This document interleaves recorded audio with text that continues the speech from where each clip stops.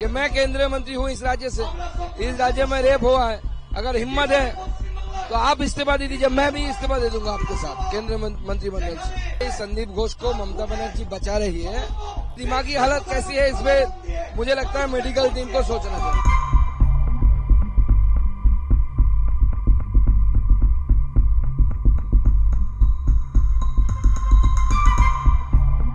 देखिए, किस कारण से रेजिग्नेशन मांगा है तो पता नहीं। सारे मंत्रियों का रेजिग्नेशन मांग लिया एलओपी का रेजिग्नेशन मांग लिया, सबका रेजिग्नेशन मांग लिया।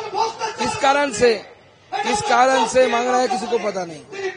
तो उनकी दिमागी हालत कैसी है इसमें मुझे लगता है मेडिकल टीम को सोचना चाहिए। कि मैं केंद्रीय मंत्री हूँ इस राज्य से, इस राज्य में रेप हुआ है, अगर हिम्मत है तो आप इस्तीफा दे दीजिए, मैं भी इस्तीफा दे दूँगा आपके साथ, केंद्रीय मंत्रिमंडल से। संदीप घोष को ममता बनर्जी बचा रही है, और एक के बाद एक, उनका अपॉइंटमेंट भी हुआ है।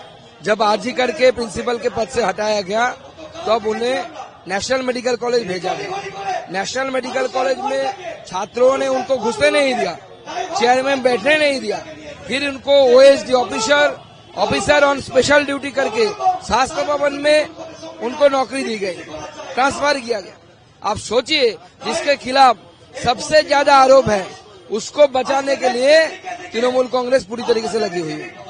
देखिए, विनीत गोयल का रेजिग्नेशन हम पहले से ही मांग कर रहे हैं। अभी डॉक्टर ऑर्गेनाइजेशन जो है जूनियर डॉक्टर्स वो भी मांग कर रहे हैं। तो विनीत गोयल को इमीडिएट हटाना चाहिए।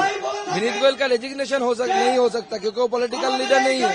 उसको ममता बनर्जी को चाहिए कि उनको हटा देना चाहिए।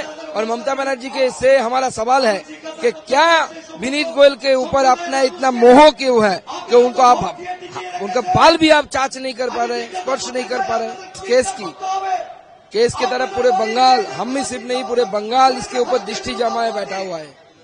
क्योंकि ये बंगाल के आगे आने वाले राजनीति, बंगाल की जनता की सुरक्षा, सबके ऊपर ये केस का जो भाडिक आएगा, वो निर्भर करेगा। इसीलिए जनता इस आस पे बैठी हुई है कि सुप्रीम कोर्ट से जनता को जस्टिस मिलेगा। और ममता बनर्जी के पैसे से, कपिल सिब्बल जैसे बड़े बड़े जो लॉयर खड़े होते हैं, उनके दबाव में बंगाल की जनता के साथ कोई इनजस्टिस ना हो।